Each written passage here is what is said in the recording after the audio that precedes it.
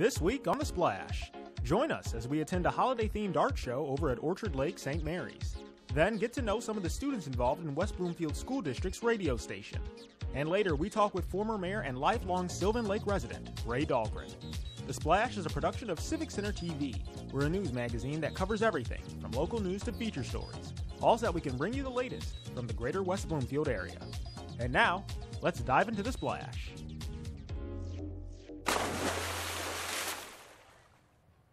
Hello and welcome to The Splash. I'm your host, Jonathan Jackson, and as always, it's good to have you with us.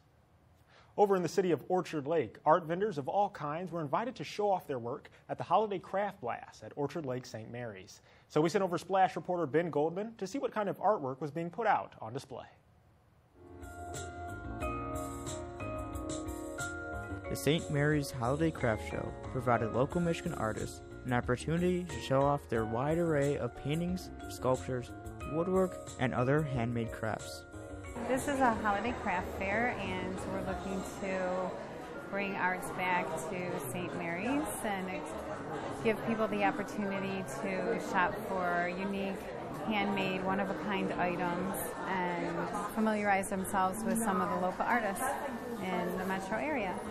This is the first year of this show. St. Mary's has had art events in the past, about 10 years ago, and um, they're looking to revive some of the arts and culture. For Karen, the mission to revive the local arts is a personal one. Uh, I'm an artist. I've shown at Art Prize and won awards, so I just like to promote the arts and be involved with the arts and share the arts.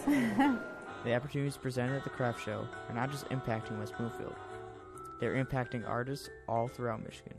It's bringing um, Michigan artists, everyone here is a Michigan artist except maybe one that's from Ohio, and so it's bringing Michigan artists to a community um, that appreciates the arts and um, sharing that love with each other.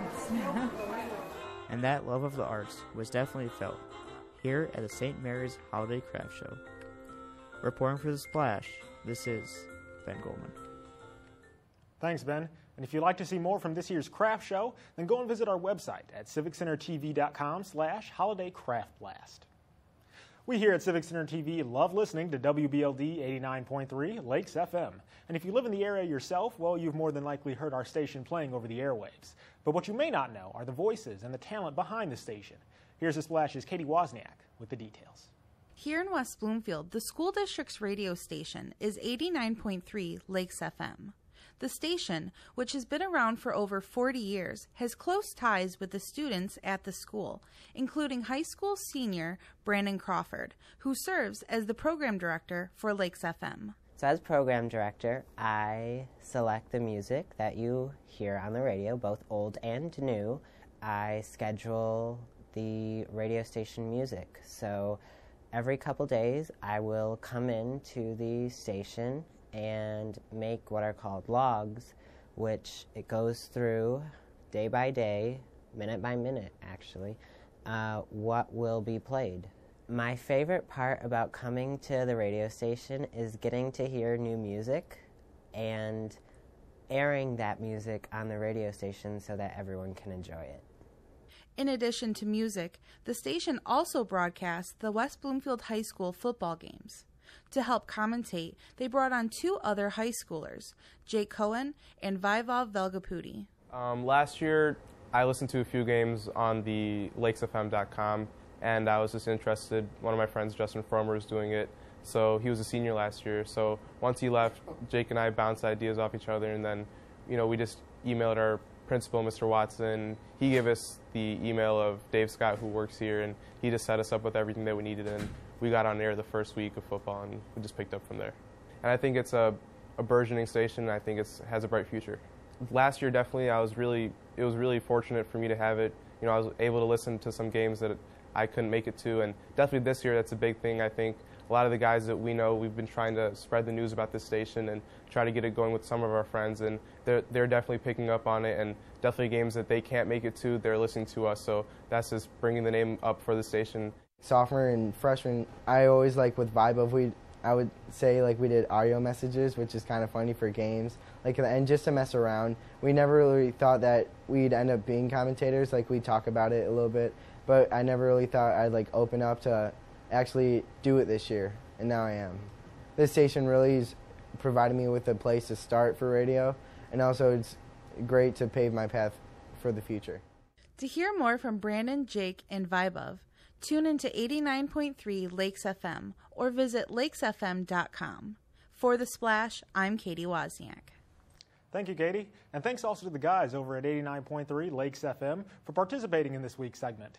And to see more footage from them, well, you can go to civiccentertv.com slash WBLD. Coming up, though, we've got a lot more to show you on this week's episode, including an interview with local chef Annabel Cohen of Cooks Detroit. And right after the break, stay tuned for our heartwarming feature on one of Sylvan Lake's oldest living residents. Don't go away. You're watching The Splash on Civic Center TV. Civic Center TV celebrates our region's natural beauty, proud history, tremendous accomplishments, and more with Another Angle, a series featuring a unique bird's eye view of our area's landscape. Watch Another Angle on Civic Center TV, television that's close to home. Civic Center TV has gone social. Now it's easier than ever to watch, save, like, and share our videos online. See what's happening in your neighborhood, on the streets, and on the web at civiccentertv.com. Be a part of the conversation and get involved. We would love to hear from you. For links to our social media pages, visit us at our website or find us on Facebook, Twitter, and YouTube. Civic Center TV, television that's close to home. The best way to know when shows debut on Civic Center TV is to become a member. It's absolutely free. We'll send you a regular newsletter with all the latest updates. Just go to civiccentertv.com and click the Members tab. Civic Center TV, television that's close to home. And now, back to the splash on Civic Center TV. Welcome back to the splash. I'm your host, Jonathan Jackson. With today's easy access to travel and transportation, most people end up living in more than one area throughout their lives. But for this next resident, he's only had one place to call home, and that's the city of Sylvan Lake. Here's the Splash's David Glazer with the story. Since he was a year old, Ray Dahlgren has been living in the city of Sylvan Lake. And looking back, he's seen it change dramatically in the past 80 years. When we moved here, there were roads, but they were they were not paved and we didn't have a water system that was doable, you know, at the time. But things were always well maintained here.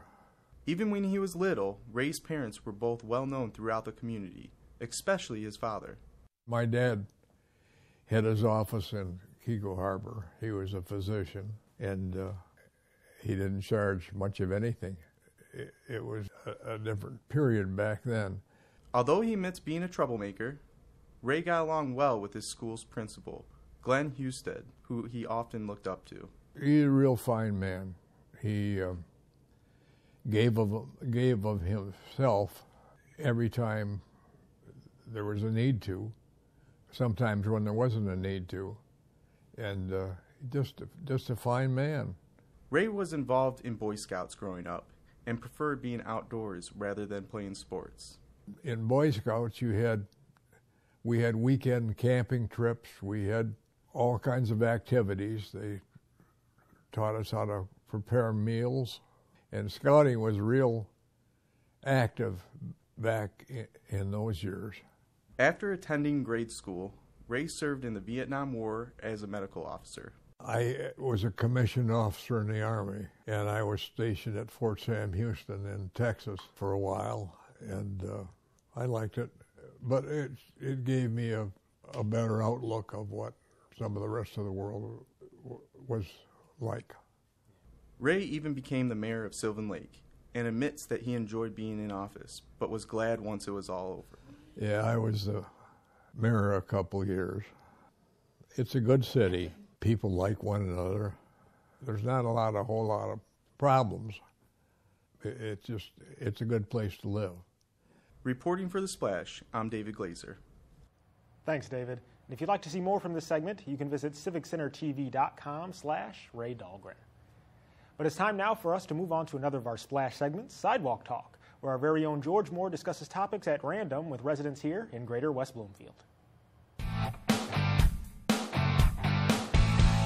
George Moore for Sidewalk Talk. You know, people have what they call a bucket list of things they want to do with their life, uh, whether it be adventurous or traveling. And our intention out here today is to find out what's the number one item on your bucket list.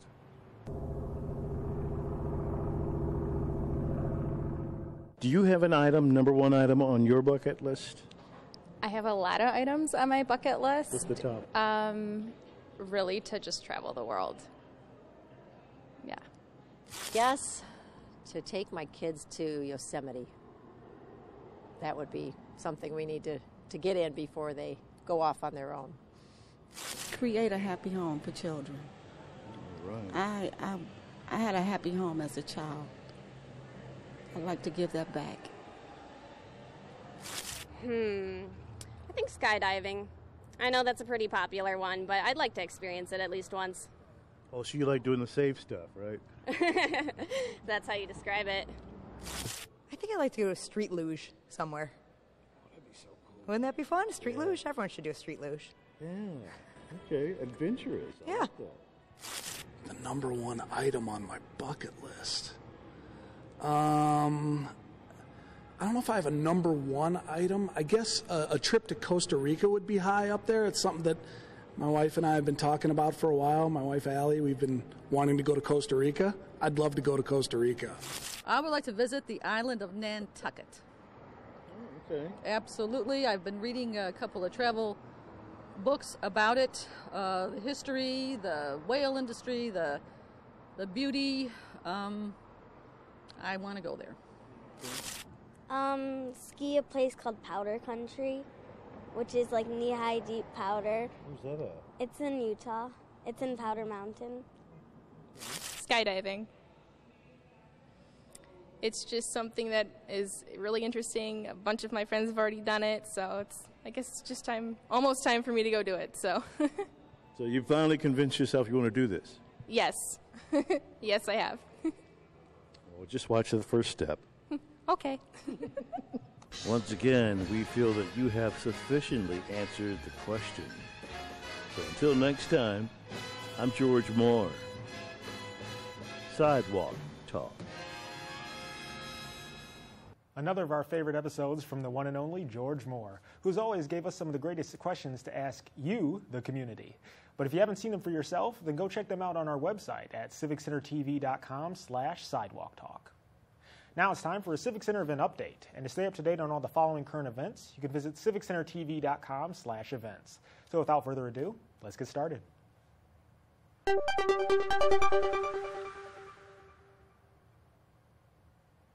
First off, a reminder the West Bloomfield Trail is still closed at the first Orchard Lake crossing just south of Pontiac Trail. For more information on how long and what else we can expect from this development, call 248 451 1900. On Thursday, October 20th, the 2016 Senior Health and Wellness Expo, in partnership with West Bloomfield Parks and Recreation, will provide education and tools for fulfilling a well focused life. Enjoy health talks from clinical experts, local vendors, and a Detroit Institute of Arts presentation. Due to availability, lunch vouchers will only be provided to the first 200 attendees. Also, there is free on site registration, but you must do so either then or beforehand.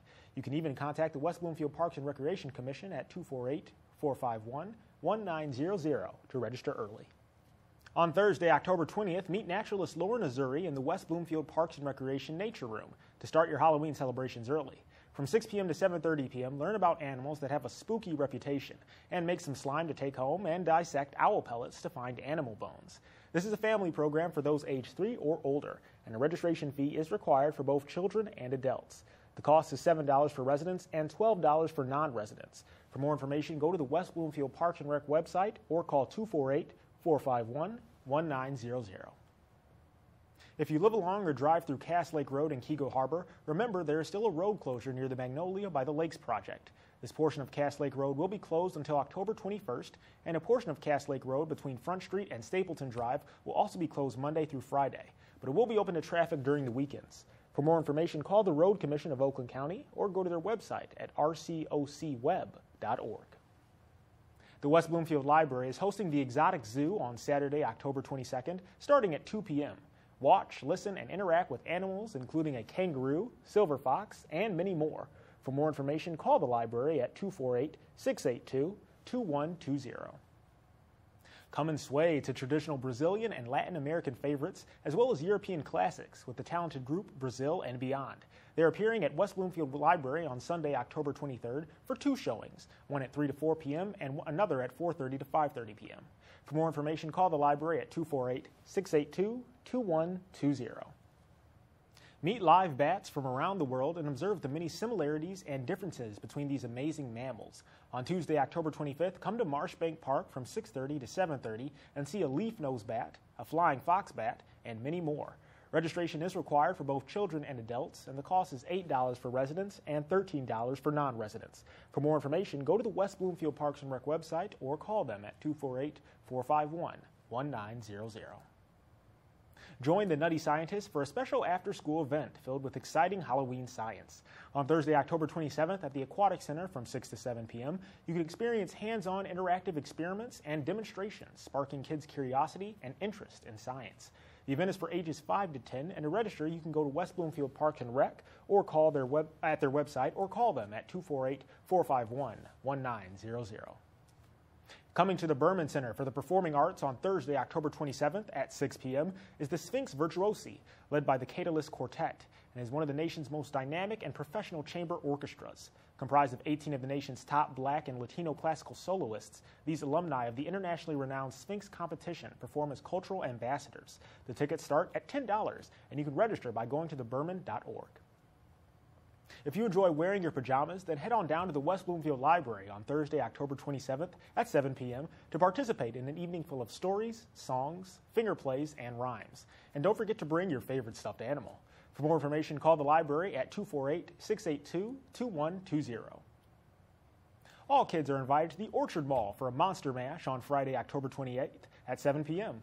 Children will have fun dancing the night away with chances to earn prizes for their costume. Now, this is a benefit for the Greater West Bloomfield Community Coalition, and it only costs $3 per child. Also, parents or guardians must attend but do not need to purchase a ticket of their own. The first 50 kids to register are free, so go on to orchardmallwb.com to sign up.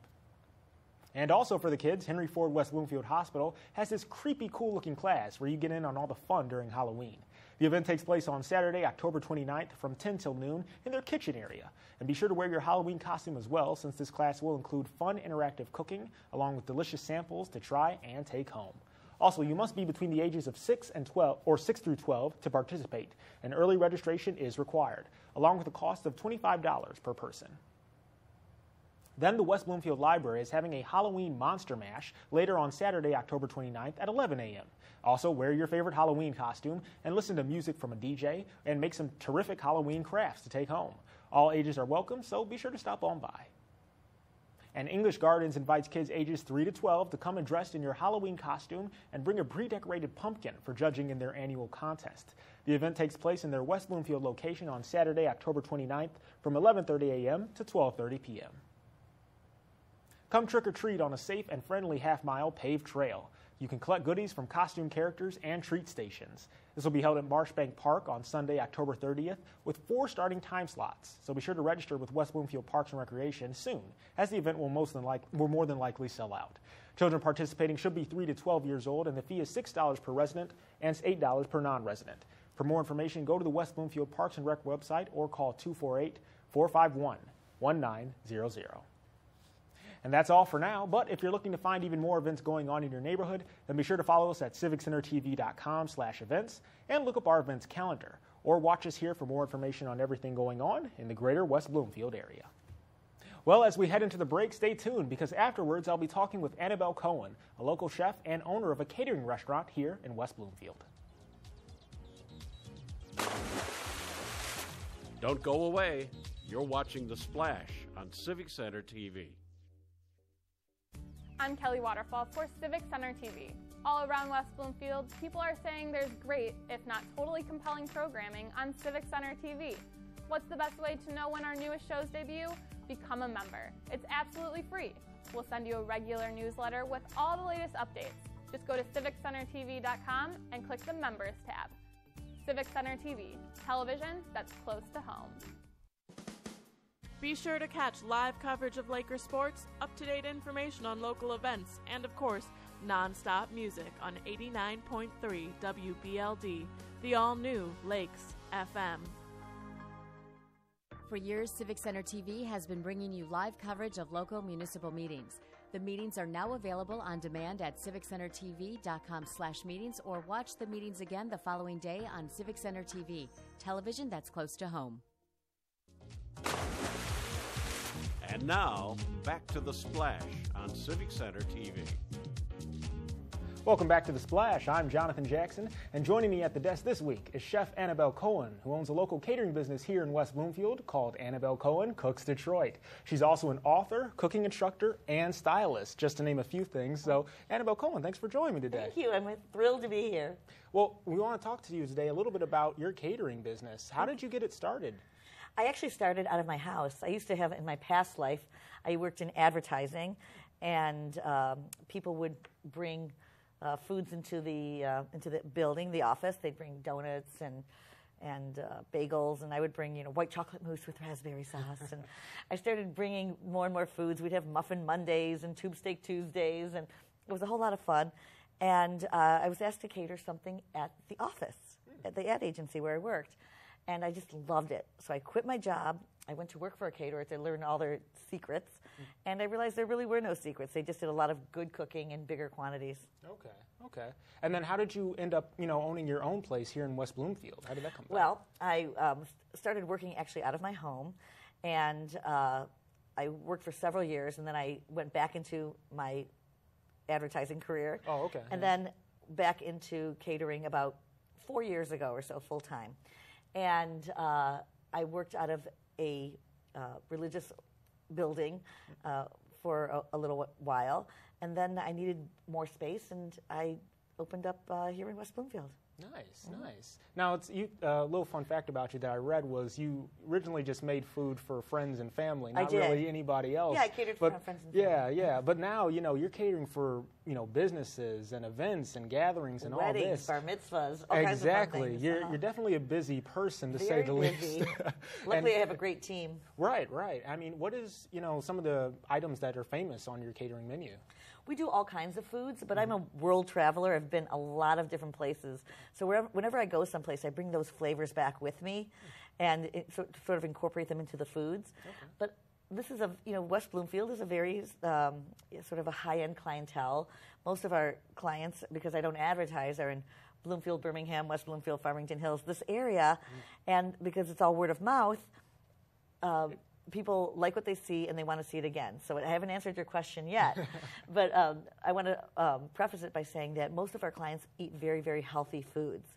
So we don't we don't even own a deep fryer. We don't have a freezer. Everything is fresh. Everything nothing is deep fried. Okay. And uh, so some of the things that we do, we do sort of often. We do a lot of fish. People love salmon. We do salmon a hundred different ways. We do um, beautiful cuts of beef and lamb that people also really enjoy. Okay. And a lot, a lot of salads. I have to say, I'm pretty well known for my salads because I, love to make them. I love to eat them. So Mm. it's a lot of fun to be creative with the salads. We have a menu on our website, and I hesitate to have people actually order from it because we it's only a, a minuscule uh, amount of, what you guys of what we actually, actually- do. Right, So right. In general, what we do is if I was talking to you, if you were calling me to cater a party, Mhm. I'd ask you a million questions. Who's coming? What's the occasion? What are your favorite foods? What is your vision? Right. And then I try to make the menu um, customized to each client's uh, specific uh, desires or and desi- tastes, etc. Exactly, Yeah, and yeah. lifestyle too. Okay. I want it to fit who you are as well, not just who I am. I don't want to force feed you a certain, uh, choose one from column A, one from column B type of menu. I want to make sure that the menus are customized to each. Um, Lifestyle, yeah. lifestyle, it's it's yeah. interesting you mentioned that because I was reading about you, and you, lifestyle is important to you. It you is, know? very important. You know, you are a foodie, like Right. you mentioned, and you're very passionate about food, but you're also involved in writing and Yes. and, and uh, you know being involved in other forms of you know media and writing, like I said. But you know, lifestyle. Can you talk to me a bit about that? How important food is just in general to you? Yeah. Well, not just to me, to uh, to anybody, yeah, right? My um, my slogan, if so if, if, so to speak, is everybody eats. Right. And it's true, everybody eats, uh, but it's really how you eat and what you eat. You can eat foods that will bring you back to Italy, to a small town in Italy where you had pasta or pizza that you really enjoyed. Uh, you can eat foods that remind you of your childhood. You can eat foods that remind you of a um, of uh, a great restaurant that you really enjoyed. So that that's all lifestyle, travel, uh, eating out, uh, your personal preferences. That's lifestyle. Right. So uh, again, I, my lifestyle, I can only talk about myself, is I, I love, love to travel. So Mhm. I bring my, that sort of lifestyle into my cooking. Okay. And uh, so the, uh, the I guess lifestyle, what is, I guess we should, I guess, I guess you bring an experience, though. It's- yeah, it's all about the experience. In general, everything's, Yeah. I always say you can get a Yeah. piece of chicken anywhere. Right. Right? But- it's, it's all about the experience of, of uh, how we make the food look Mm-hmm. and how the food is going to fit into your particular event.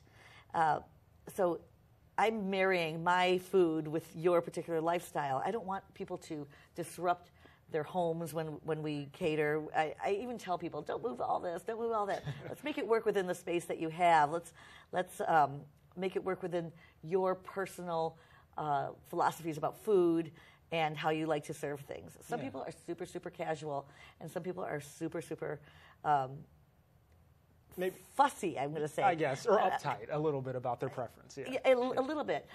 But it should be great no matter what it is. Exactly.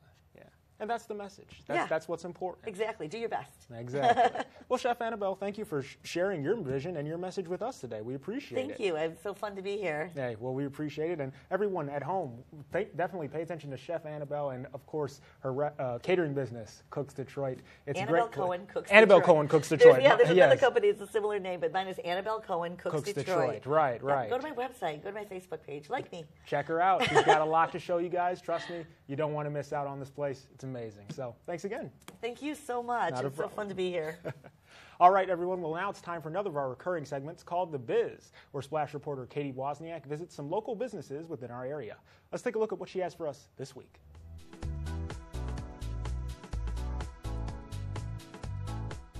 Pets are often members of the family, and their health and well being is just as important as our own. In this edition of The Biz, we visited Scrubbers, a self serve dog wash and grooming facility, to learn about why pet hygiene is so important. Hygiene is important for our pets because it's important to keep our house clean, to keep your dog from smelling. It's also basic maintenance for your dogs. And keeping your pet clean is important for you as well. Hygiene is very important for pet owners so that their house is maintained and cleaned, um, so that there's not hair all over the floor, um, so that their uh, their floors aren't getting scratched up, so that the owner is not getting scratched up. When talking about pet hygiene, it's important to note that not all breeds require the same care. There are a lot of different breeds that need different maintenance. My bulldog Lola needs her face wrinkles cleaned out every night. She needs her ears cleaned on a regular basis, and she has a tail pocket that needs to be medicated on a weekly basis. There are other dogs like Cocker Spaniels that tend to get yeasty, and their skin and their ears can grow bacteria. There are dogs like Labradoodles and Golden Doodles that grow hair and they need to be brushed on a regular basis. Otherwise, when they go to the groomer, they tend to get shaved because they're matted. And then there are dogs like labs that really just need a bath every 8 to 12 weeks, get all that hair out, clip the nails, clean the ears, the basics. And we asked Nikki just how often you should bathe your furry friend. It depends on the dog. Um, I, I would normally recommend every six to eight weeks for the everyday pet. Dogs roll in stuff, dogs eat stuff. They, you know, um, it's just for maintenance purposes to keep a clean dog and a hair free house. Don't think it's all soap and bubbles. We got the do's and don'ts of bathing your pup. Don't use hum- human shampoo. Do not use dish soap. Do not use anything that does not specifically say it's for pets. A lot of shampoos and soaps have sulfates, have um, agents that will dry out the skin, that will give them infections. Um, people don't realize this. I would also say when you're bathing your dog, regardless what you're bathing the dog in, you have to make sure that you're rinsing the dog completely. Otherwise, a film on the dog forms and it can create infections. Um, a lot of people that bathe in the tubs will use um, cups to rinse their dog, and a really hairy dog, you're not going to get all that all that soap out of the dog. Um, so it's very, very important to rinse your dog completely so that there is no residue left on your dog. When bathing your dog, I would say it's important for the temperature of the water to be between 75 and 95 degrees. You don't want it scalding hot, but you want it comfortable for you. A little um, lower temperature than what you would normally bathe in. Um, it's very important that you blow dry your dog if your dog has a lot of hair. A lab, a pit bull can get away with just a, a good towel dry. But with a thick coat, that's when hot spots form if they're left really wet um, or they go roll outside while they're wet. For Civic Center TV, I'm Katie Wozniak. Thanks, Katie. And if you'd like to see even more episodes of The Biz, then you can visit civiccentertv.com slash thebiz. Now let's turn to our other segment here on the show, our Person of the Week, where we acknowledge an individual within the community who is either helping or inspiring others. And this week's recipient is Sylvan Lake resident Charlotte Gamble.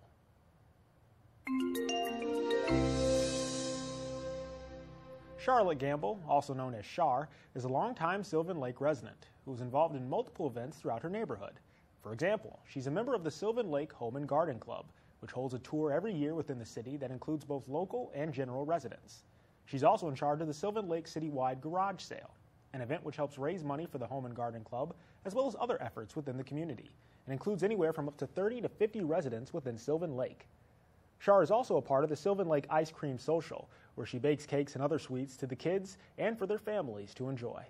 In a word, Char is simply one of Sylvan's most generous individuals and is always looking for new ways to help others, making her our person of the week. And if you happen to know someone who is providing a service to their community, then let us know by sending an email to the splash at civiccentertv.com. We want to congratulate those who are making a difference in our area, and we appreciate any and all suggestions. Well, that brings us to the end of our show today. As always, you can catch new episodes of The Splash every Monday at 6.30 and throughout the week for replays.